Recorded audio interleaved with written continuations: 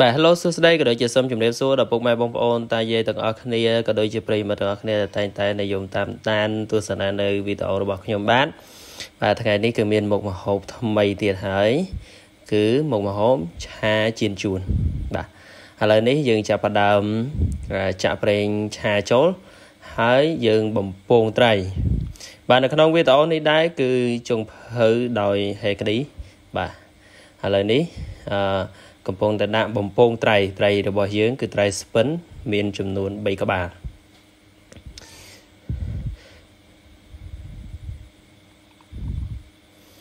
បាទបន្តអំពីយើង បំពងត្រីមកខាង បានរៀងក្រៀមល្អហើយយើងចាប់ផ្ដើមប្រែត្រឡប់មកមកខាងទៀតដើម្បីឲ្យវាក្រៀមឆ្អិនល្អបាទឥឡូវយើងប្រែវា បន្ទាប់ពីប្រែហើយឆ្អិនត្រីនឹងក្រៀមល្អហើយយើងដកវាយកទុំមួយឡែកសិនហើយយើងចាប់ផ្ដើមឆាគ្រឿងរបស់យើង ដោយដាក់ខ្ទឹមសមានម្ទេសហើយថែមទឹកត្រីបន្តិចឲ្យទុកវាឲ្យវាឈ្ងុយហើយយើងចាប់ផ្ដើមចាក់ស្ករសចូលបាទបន្ទាប់ពី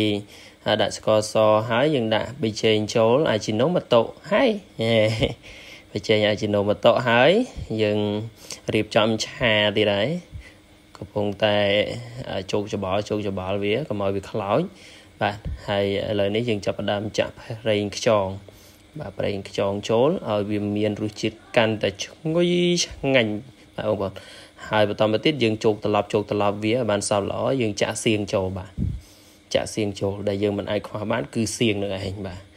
ហើយយើងឆាត្រឡប់ឆាត្រឡប់ទៀត ឆាត្រឡប់ឆាត្រឡប់ម្ដងទៀតនិយាយទៅថាពីរសជាតិវិញមិននិយាយបងប្អូនអើយមានរសជាតិឆ្ងាញ់មែនទែនហូបបាយអស់5ចាន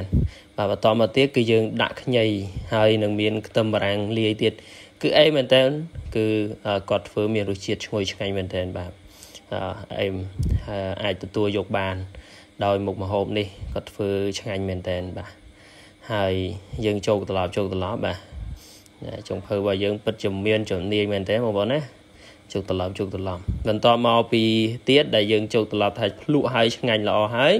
គឺយើងចាប់ផ្ដើមដាក់ត្រីដែលយើងបំពងនោះចូលបាទដាក់ត្រីដែលយើងបំពងចូលហើយយើងចូលច្បល់ចូលច្បល់ទុកវាមកសន្ទុះឲ្យវាចូលគ្រឿងសពអស់ហើយចាំយើងលើកយកមកហូបយើងអោបវាទុកឲ្យវាចូលជាតិជាមួយនឹងសាច់ត្រីទៅ ហើយយើងថែមបន្ថយគ្រឿងស្ករវិចេងអំបិលអីទៅតាមចំណងចំណូលចិត្តរបស់បងប្អូនដែរចូលចិត្តសាបឬក៏ចូលចិត្តផ្អែមឬក៏ចូលចិត្តប្រៃតែមុខម្ហូបនេះគឺគាត់ធ្វើរសជាតិរៀងដិតបន្តិចដូច្នេះគឺមានរសជាតិពិតជាឈ្ងុយឆ្ងាញ់ហើយហូបបាយបានច្រើនមែនទែនបាទអញ្ចឹងបងប្អូនសូមអញ្ជើញ